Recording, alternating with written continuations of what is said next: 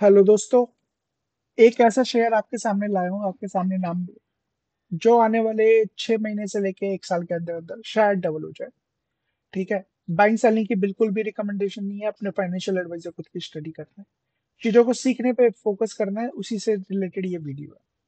तो जिसका नाम है विजय डायग्नोस्टिक इससे रिलेटेड हम बातें करेंगे। जानेंगे चार्ट से रिलेटेड बट उससे पहले पहले तो मार्केट का आउटलुक ले लेते हैं, और मार्केट के आउटलुक लेने से पहले भी, यहाँ पर मैं आपको कहना चाहता हूँ कि आप हमारे चैनल को सब्सक्राइब कर लीजिए। बेल आइकन को हिट करिए ऑल की नोटिफिकेशन को ऑन करिए और जितना हो सके हमारे चैनल को प्यार दीजिए ताकि हम अच्छे अच्छे शेयर आपके पास लाते रहे। तो यहाँ पर सीखना है, सीखने के लिए वीडियोस है, बहुत सारी वीडियोस है, जाके देखिए, आपको समझ में आएगा।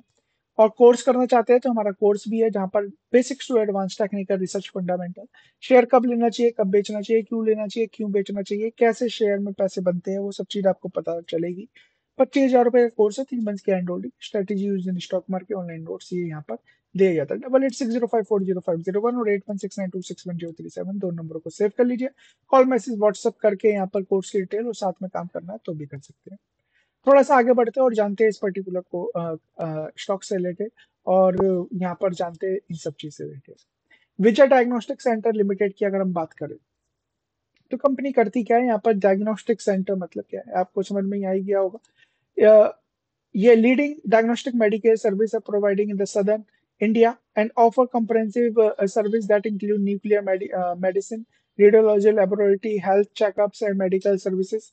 है ना and the company provides across 13 uh, cities uh, uh, through its 81 diagnostic center and 11 uh, reference laboratories तो हम बात करें ये कंपनी डायग्नोस्टिक सेंटर है, जहाँ पर रेडियोलॉजी लेबोरेटरी और न्यूक्लियर मेडिसिन और चेकअप वगैरह जो होल से रिलेटेड होते हैं। वो करती हुई नज़र आती है और इन पर्टिकुलर सिटीज़ में ये कंपनी काम करती हुई नज़र आती है। मार्केट लीडर है और साउथ में डोमिनेशन इस पर्टिकुलर कंपनी का ज़्यादा है। तो एक बार इनकी वेबसाइट पे विज़िट करोगे तो आपको पूरा का पूरा आइडिया आता हुआ दिखाई देगा, आपको पूरा का पूरा पता चलता हुआ नज़र आएगा ये कंपनी किस तरीके से काम करती है। ठीक है, ये इनके जो पॉपुलर टेस्ट है फास्ट ये फास्टिंग प्लाज्मा ग्लूकोज टेस्ट करते हुए नज़र आते हैं, वो सब चीज़ों से रिलेटेड यहाँ पर इन्होंने बता रखा है। ठीक है, यहाँ पर आप देख सकते हैं, ये सब सब कुछ होता हुआ नज़र आता है। आगे बढ़ते हैं और जानते हैं। तो यहाँ पर देखिए, विजय डायग्नोस्टिक्स लिमिटेड की। तो मार्केट कैप है दस हज़ार नौ सौ इकतालीस करोड़। तो मतलब क्या है? मतलब है कि ये जो कंपनी है, ये कंपनी क्या है? ये स्मॉल कैप कंपनी जब मैं स्मॉल कैप की बात करूँ तो याद रखिएगा एक चीज़। क्या याद रखना है कि स्मॉल कैप में सबसे पहले तो हमारे चैनल का नाम I am small cap investor है। ठीक है, हमारी एक्सपर्टीज इसमें है। दूसरा, जब मैं स्मॉल कैप की बात करूँ तो याद रखिएगा स्मॉल कैप में जब शेयर भागता है तो अच्छा नज़र आता है। ठीक है, पैसे भी बहुत ज़्यादा बनते हैं, आप देख देख पा रहे हो शेयर यहाँ पर नीचे से, लगभग डबल के आसपास हो चुका है। और जब गिरता है तो उसी तरीके से गिरता हुआ नज़र आता है कि शेयर कब छह सौ रुपए वाला शेयर तीन सौ रुपए आ जाएगा, पचास, साठ, सत्तर परसेंट आपसे ले जाएगा, आपको पता भी नहीं चलेगा, ठीक है? तो आगे बढ़ते हैं।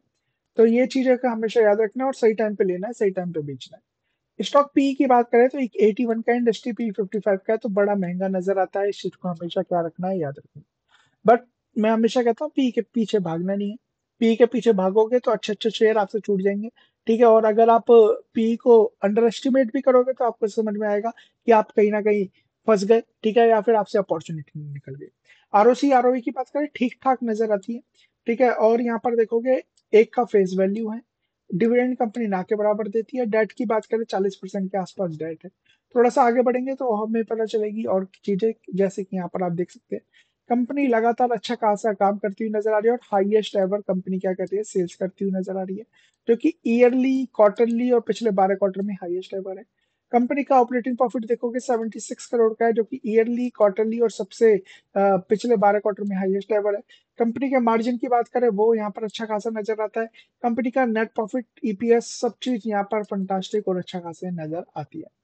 कंपनी से थोड़ा सा आगे बढ़ते हैं तो आपको पता चलेगा कंपनी का ईयरली परफॉर्मेंस तो जहाँ पर दो सौ इक्यावन करोड़ की सेल्स थी, वो धीरे धीरे बढ़ बढ़ के लगभग पाँच सौ, साढ़े पाँच सौ, छह सौ करोड़ तक पहुँच चुकी है।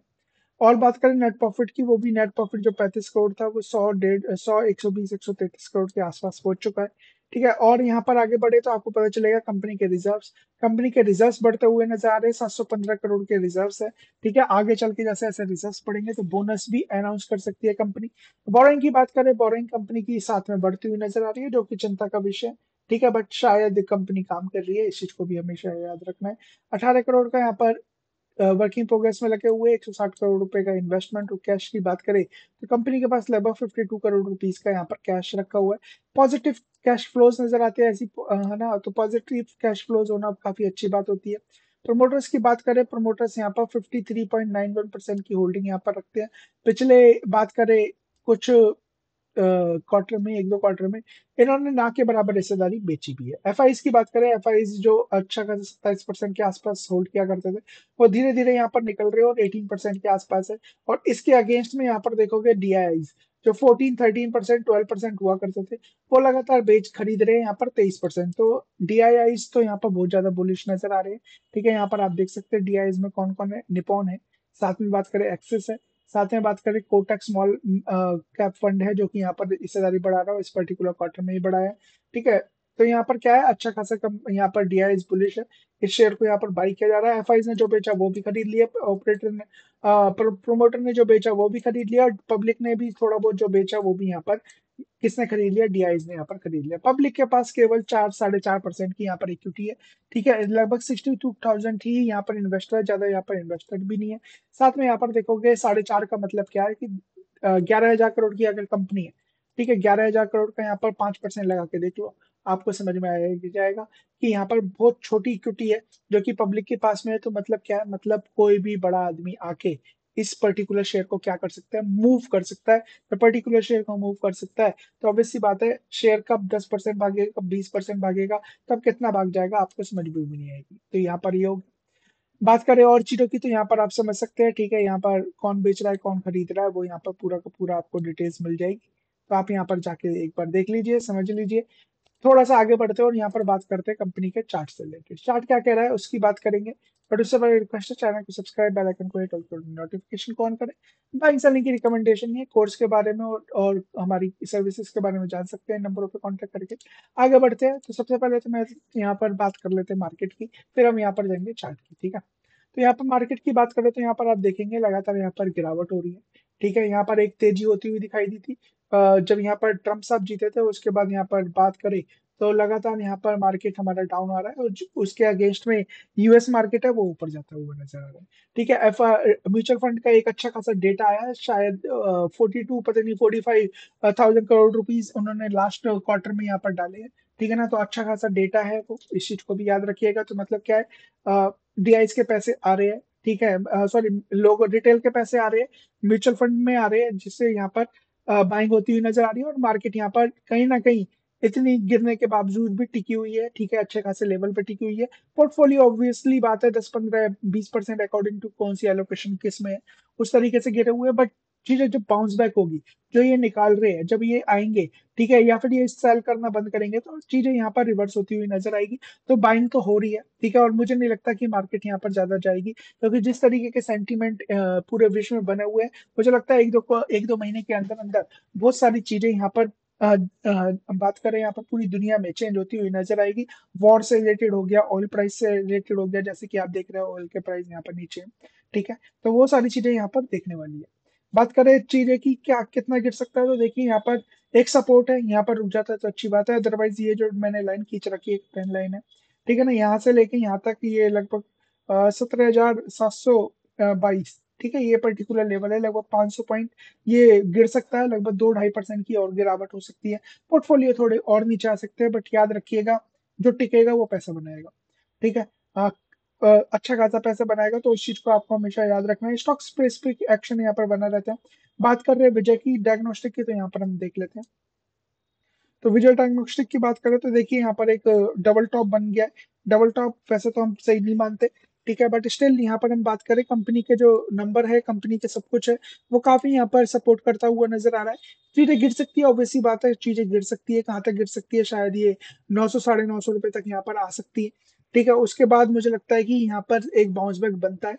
और ये शेयर आने वाले, जैसे कि मैंने बात करी है, छह महीने से एक साल। क्योंकि छह महीने ऐसा तो नहीं होगा कि छह महीने, एक साल तक मार्केट नीचे ही जाती रहेगी जाती रहेगी, ऊपर नहीं आएगी, ऐसा बिल्कुल नहीं होने वाला। और ये शेयर क्या है? एक सुपर परफॉर्मेंस स्टॉक है, जब ये निकलेगा। ठीक है ना? तो इसे कहाँ जाना है? इसे यहाँ पर हज़ार, यहाँ पर जो शॉर्ट टर्म टारगेट जो मेरे आ रहे हैं, वो तेरह के आसपास आ रहे हैं। बट जो मैं मिड टर्म टारगेट की बात कर रहा हूँ ठीक है, वो मिड टर्म टारगेट मेरे कहाँ पर आ रहे हैं? मिड टर्म टारगेट मेरे लगभग लगभग दो हज़ार रुपए के आसपास आ रहे हैं, जो कि लगभग अस्सी नब्बे परसेंट के आसपास यहाँ पर बनता है। तो ये तो कहीं ना कहीं मुझे लगता है कि ये बाई ऑन डिप्स वाला स्टॉक है। बट स्टिल एक लंबा नज़रिया रख के ही स्टॉक्स के बारे में सोचिएगा। मेरे कहने पर किसी और के कहने पर बाइंग सेलिंग नहीं करनी है। अपने फाइनेंशियल एडवाइजर खुद की स्टडी करना है। जी अगर यहाँ से नीचे आई तो और कितना नीचे आ सकती है? लास्ट लास्ट नीचे यहाँ तक आ सकती है छह सौ सत्तावन तक। तो लगभग अच्छे खासी गिरावट भी हो सकती है अगर मार्केट नीचे आया कहीं आ, अगर कुछ ना मिला तो कहीं ना कहीं गिरावट हो सकती है। बट स्टिल मुझे लगता है कि यहाँ से रिवर्स हो जाना चाहिए। ठीक है, पचास सौ रुपए और शायद नीचे आए, उसके बाद रिवर्स होगा। और जैसी चीज़ें रिवर्स होगी तो एक अच्छा खासा पैसा यहाँ पर बनने की अपॉर्चुनिटी है। थोड़ा सा टाइम देना पड़ेगा थोड़ा सा पेशेंस रखना पड़ेगा। क्यों? क्योंकि ये शेयर इसी तरीके से चलते हैं कि यहाँ पर जब चलना शुरू करते हैं, एक साथ दे जाएँगे, एक डेढ़ महीने में आपके जितने भी दुख है ना, सबको हर लेंगे। तो वीडियो अच्छे लगे बाइंग सेल यहाँ पर हमारे चैनल को सब्सक्राइब कर लीजिएगा, बेल आइकन को ही करके नोटिफिकेशन ऑन करिएगा। बाइंग सेलिंग की रिकमेंडेशन है, नंबरों को नोट कर लीजिए कॉल मैसेज व्हाट्सअप करके कोर्स की डिटेल हमसे हमारे साथ काम भी कर सकते हो। Thank you so much God bless